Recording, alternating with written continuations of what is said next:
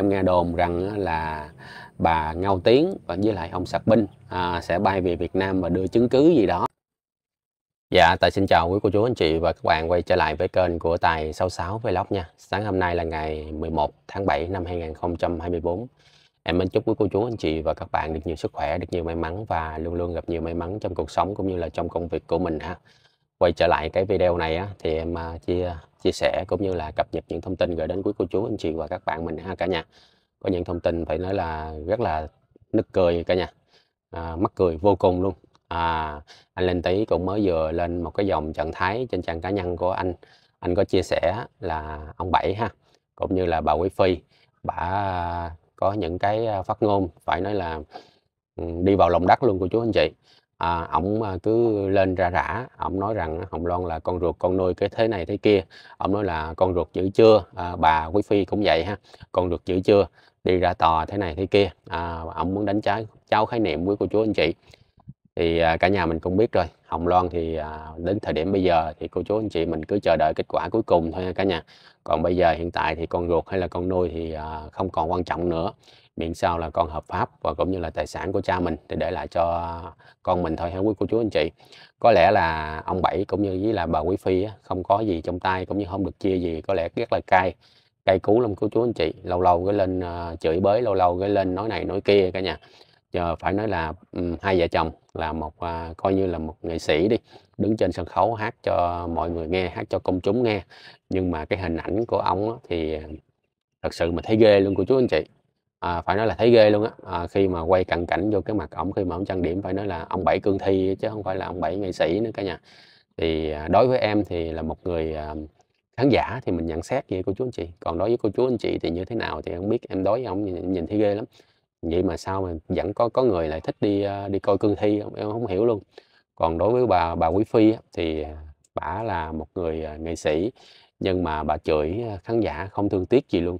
Bà chửi đi tục chửi tiểu bà chụp chửi ghê lắm. À, nếu mà nói về vấn đề mà bị à, bị nói à, và cũng như là bị chửi bị à, đủ điều hết là Hồng Loan là cái người mà gọi là bị áp lực nhiều nhất của chú anh chị. Nhưng mà đối với Hồng Loan thì cô chú anh chị mình cũng biết rồi không có lên tiếng ha. Để cho cộng đồng mạng à, thấy ai đúng ai sai tự khắc là mọi người cũng biết không cần phải lên phân bua làm gì ha cái đó là cái điều mà hay ở Hồng Loan mà cô chú anh chị mình thấy trong một năm mấy qua Hồng Loan không bao giờ lên tiếng. Trừ khi có những cái à, nghẹn ngào trừ khi có những cái à, xúc động trong ừ, trong lòng của mình thì Hồng Loan mới lên livestream có những chia sẻ thôi quý cô chú anh chị. Cũng là con người mà thì cũng có những cái lúc à, uh, dâng trào cảm xúc còn phía bên à, khọt xèo á, thì à, vợ chồng của à, cương thi khọt xèo đó cả nhà. Thì à, lên nói hồng loan à, con ruột dữ chưa? Nhưng mà không biết ông này ông thích con ruột hay là ông thích con nuôi? Thật sự rất là mâu thuẫn ha. Ông lại à, ông ông lại lại thích hồng loan lại là con ruột. Nhưng mà ông đi à, từ bỏ con ruột cả nhà. Ông đi từ bỏ con ruột của mình ông từ con luôn ông quyết định từ con luôn. Thề thốt đủ điều từ con các kiểu ha cô chú anh chị rồi xong đó ông đi uh, nhận con người ta làm con. À, nhận con của một uh, người khác làm con của chú anh chị. Ông này thì ông là đúng là cương thi thật sự luôn. Không biết ở trong lòng ông là cái gì nữa ông đâu phải người đâu ông là cương thi mà. Ông uh, ông nói thực sự là những cái câu phát ngôn của ông đi vào lòng đất của chú anh chị. Là một nghệ sĩ như vậy thì cũng khó là chấp nhận được ha. À, bây giờ đối với em đi là một người mà à, cũng mê cải lương đó cả nhà cũng thích cải lương lắm đó nha. Em thích uh, bắc năm vũ linh nè vũ linh nè đó, Tài Linh nè cả nhà. À, Minh Dương Lệ Thủy rồi đó cả nhà. Hoặc là Minh Phụng rồi đó em thích nhiều lắm. Nhưng mà sao mà cái cái à, cái, cái cái nghệ sĩ à, Cương Thi thì em lại ha, không biết cả nhà không biết tên. Nghệ sĩ Cương Thi em thì lại không biết tên. Đó đó là những cái gì mà cô chú anh chị mình cũng thấy rồi. Họ chắc có lẽ là họ không được cái gì nên họ cay ha, họ cay cú. Rồi tiếp theo á là chị Hồng Ni. Chúng ta phải nói là thương chị Hồng Ni vô cùng cả nhà à, vì à, yêu thương và ủng hộ con của cố nghệ sĩ nên đã dành hết thời gian đa phần là thời gian nhiều dành cho chị Hồng Loan. À, mỗi lần mà chị Hồng Loan ra tòa hay là mỗi lần chị Hồng Loan có việc gì đó chỉ cần gọi chị á, là chị bay về với chị à, Hồng Loan liền ở bên cạnh chị Hồng Loan để yêu thương và giúp đỡ cả nhà. Đó là tình cảm tình yêu thương đối với cô chú anh chị. Còn à, vấn đề mà phía bên kia họ tấn công á, là những cái trang cá nhân của chị Ni á, họ tấn công họ báo cáo để ờ, cho chị Ni không có phải ờ, lên mạng nói này nói kia nữa. Và họ sợ chị Ni à, vạch trần à, những cái gì xấu xa của họ nên họ cố tình họ đánh phá. À, trong cả nhà mình có để ý không ạ? Từ khi mà cái chị hai đó chị hai à, chị hai đó cả nhà chứ em không gọi bằng kêu bằng anh nữa rồi cả nhà em kêu bằng chị đi ha. Người ta không cho mình kêu bằng anh thì bây giờ mình kêu bằng chị ha cả nhà hoặc cái những cái tên kia đó của người ta thì người ta cho rằng á, là những cái tên đó là của người ta. Nếu mà nói ra là chỉ đích danh của người ta.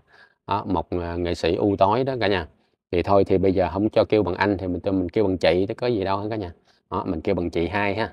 Chị hai từ khi mà chị hai lên tiếng đó thì à, hầu như là những trang cá nhân của chị Ni là bị bay màu bị ra đảo hết rồi cả nhà à, ừ, không cho chị Ni à, nói về cái đêm kinh hoàng hôm ấy.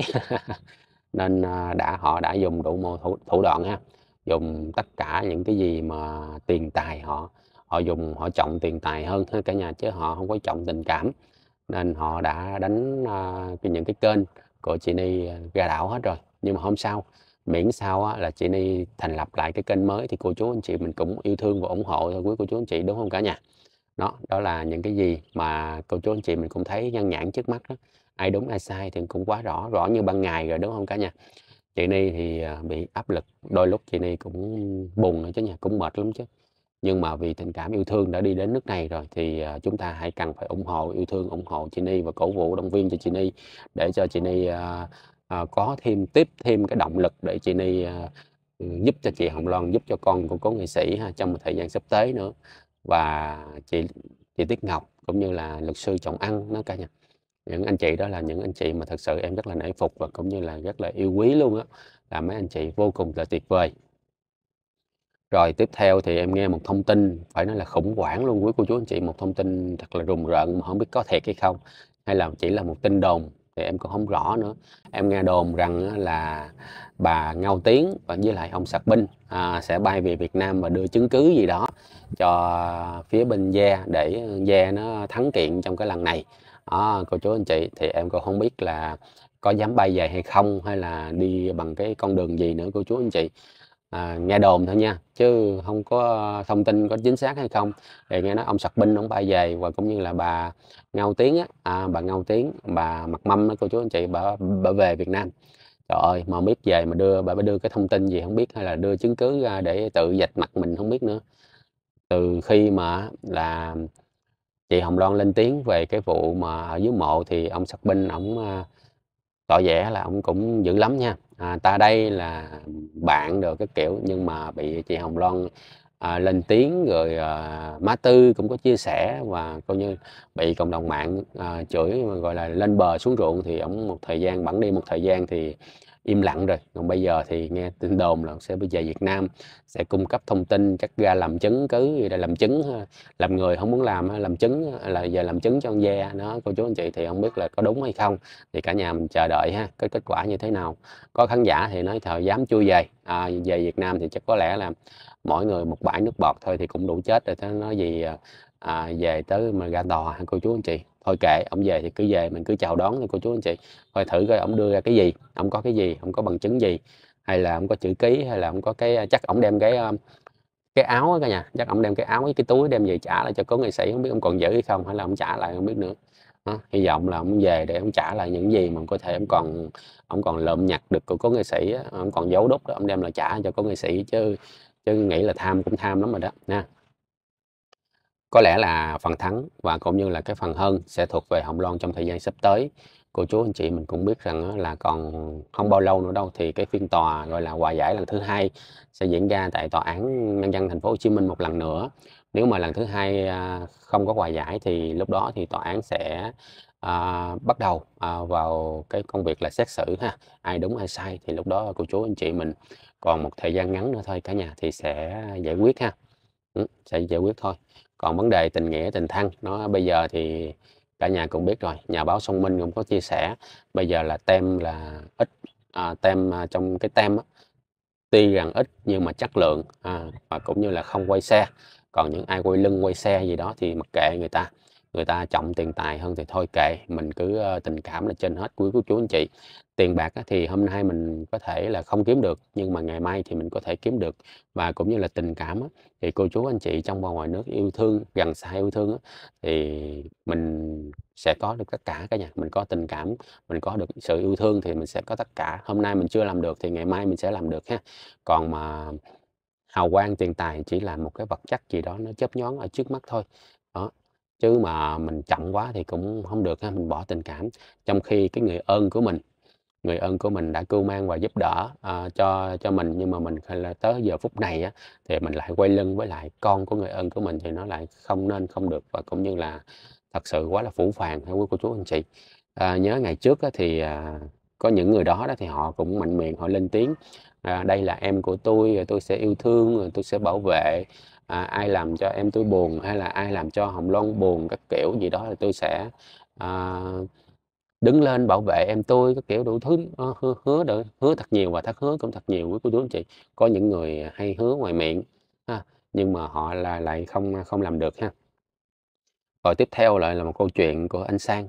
Dạo gần đây á, thì có rất là nhiều à, phía bên kia họ công kích anh Sang cả nhà họ nói đủ điều cũng lại là con ruột con nuôi ha. thì con gì thì con hơn cả nhà. Bây giờ con con ruột con nuôi đâu còn quan trọng nữa đâu. Cũng rất là nhiều lần đối với chị à, đối với cộng đồng mạng rồi người ta đã không còn quan trọng con ruột con nuôi nữa rồi. Đó. thì bây giờ là miễn sao là con hợp pháp thôi. Đó tài sản của cha người ta thì để lại cho người ta thôi chứ để lại cho con thôi cả nhà. Chứ đâu mà gọi là con ruột con nuôi làm gì nữa cả nhà. Rồi à, phía bên à, phía bên kia họ họ muốn tranh giành cả nhà mình còn nhớ ngày xưa không? À, chị Hồng Loan cũng nói là ừ thôi cái à, phần đó thì cũng được chia đều ra à, chia ra cho cô cho chú để cho cô chú có cuộc sống ổn định cho cuộc sống để à, an cư lạc nghiệp. Nhưng mà cô chú vì lòng tham không đáy ha cô chú đã muốn gọi là muốn đồng sở hữu rồi cái bước bước đồng sở hữu của cô chú á, là cái bước tiếp theo là cô chú muốn chiếm hay sao mà cô chú không chịu rồi cuối cùng lại ra tòa. À, người thân mà gọi là như vậy thì thật sự ai mà dám lại gần nữa cả nhà? Thật sự đối với những người như vậy thì đối với ờ, em thôi không biết cô chú anh chị mà sao. Chắc có lẽ là không dám lại gần nói chuyện đâu vì trong lòng trong dạ họ đâu biết họ suy nghĩ như thế nào hết cả nhà. À, người ta thường hay nói là xong cho dù sâu cỡ nào thì mình có thể dùng đủ mọi phương tiện để đo được cái lòng sông nó sâu như thế nào. Mà đối với lòng con người thì có ai mà lấy thước mà đo lòng người đâu người ta ngoài mặt thì ngoài miệng thì người ta nói vậy nhưng mà trong lòng người ta lại suy nghĩ khác. Người ta có thể đâm sau lưng và lặt kèo lặt bánh tráng. Nói chung là người ta lặt bất cứ lúc nào à, cả nhà. Người ta có thể lặt bất cứ lúc nào. Còn lòng sông thì nó vẫn nằm ở đó mình đo dễ lắm cô chú anh chị. Khó lắm ha.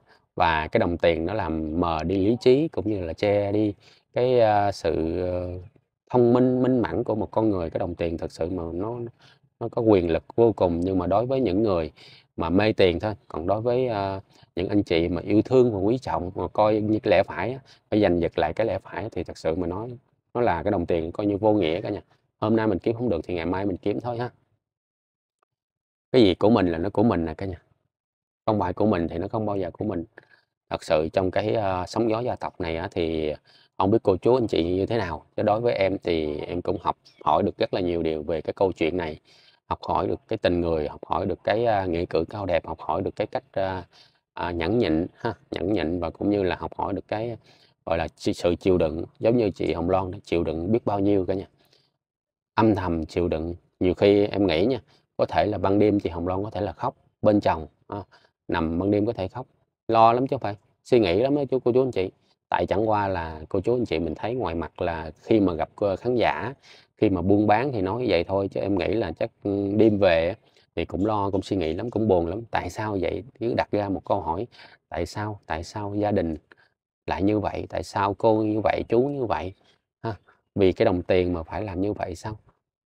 Mà trong phải nói là cái ờ, câu chuyện mà sóng gió gia tộc này đi vào lịch sử luôn. Nó chấn động cả thế giới luôn cả nhà trong nước và ngoài nước luôn. Cô chú anh chị mình cũng biết rồi. Khi mà hôm trước thì em cũng có nói và cũng như là có rất là nhiều khán giả nó nói, cô chú anh chị nói, nếu mà phiên tòa này ra, diễn ra mà phần thắng thuộc về phía bên kia nha, em ví dụ thôi chứ em không nói là bên kia thắng, thì xã hội này thật sự nó loạn lên luôn nó loạn lên luôn và cũng như là mọi người không tin tưởng vào cái ờ, pháp luật nữa. Vì ở nhờ có 2 năm mà được tài sản thì nó là quá trời vô lý. Nếu như vậy thì em có một người cậu, hai ba người cậu gì đó, em vào em ở nhờ thì một thời gian thì em em sẽ được tài sản sao? à, ờ, mọi người ai cũng có cậu, cũng có gì có chú đó, đi ở nhờ một hai năm gì đó, rồi cuối cùng cũng được tài sản sao? Đúng không cô chú anh chị? Cái này thật sự rất là quá là vô lý luôn. Chúng ta cần phải bảo vệ cái lẽ phải, chúng ta cần phải bảo vệ cái cái chính nghĩa. Thôi thì, à, đó là những cái gì mình muốn chia sẻ đến quý cô chú anh chị và các bạn mình. Và một chia sẻ nữa thì muốn gửi đến cả nhà mình đó vào ngày 27 tháng 7, cho dù như thế nào như chăng nữa, có chuyện vui, chuyện buồn hay là ra tòa như thế nào, ai nói gì nói. Nhưng mà ngày 27 tháng 7 thì chị Hồng Loan sẽ gặp gỡ giao lưu cô chú anh chị và các bạn mình tại sân khấu ca nhạc chống Đồng ha cả nhà. Cô chú anh chị mình đừng quên mua vé ủng hộ, à, chị Hồng Loan, à, ca sĩ trẻ Hồ Văn Cường và nhiều giao lưu gặp gỡ cùng với nhiều ca sĩ anh chị ca sĩ khác nữa, à, cũng như là ủng hộ bộ show Huy Lê ha. Xin chào và hẹn gặp lại cô chú, anh chị và các bạn mình ở video tiếp theo ạ. Cảm ơn cả nhà mình rất là nhiều ạ.